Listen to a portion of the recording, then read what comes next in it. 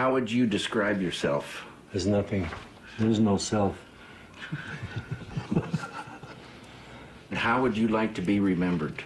Doesn't matter.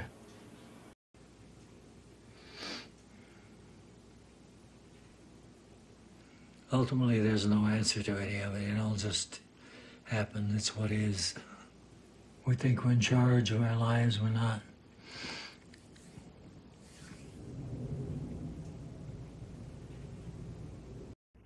I say it is when you're truly at home, there's no more suffering,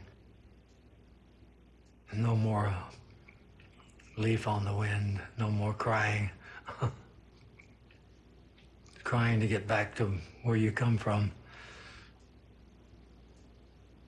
And do you know where you come from? No, there's no answer to that.